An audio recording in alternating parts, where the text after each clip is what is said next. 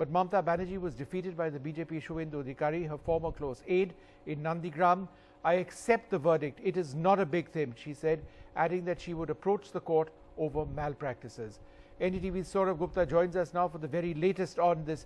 Now, Mamata Banerjee uh, narrowly lost in Nandigram. She says she may go to the court. There was talk of a recount. What's the latest as far as Nandigram is concerned?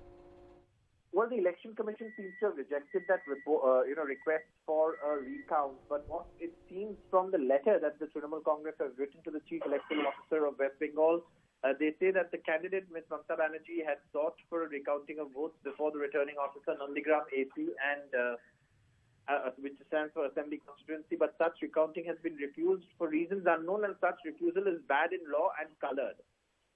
So obviously, uh, you know, Mamata Banerjee had hinted that this matter could be taken to the courts, and it's likely that the Trinamool could approach the courts. So there's still a cloud hanging over the Nandigram verdict, even though Suvendu Adhikari has been declared the winner by the Election Commission.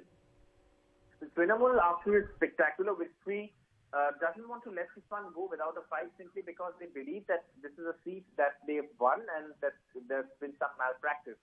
On the other hand, the election commission says that it's completely fine and the counting took place. And yes, it was a closely fought election, and uh, and Suvendu Adhikari rightfully defeated uh, Mamata Banerjee, no matter how narrow the margin may be. So obviously, it, it, it, this cloud still hangs over the Nandigram verdict because it's still not absolutely clear that the Trinamool is going to let this, let this go, and the matter might very well end up in the court. Even though Mamata Banerjee has said she accepts the people's verdict, she hasn't said she accepts defeat in Nandigram.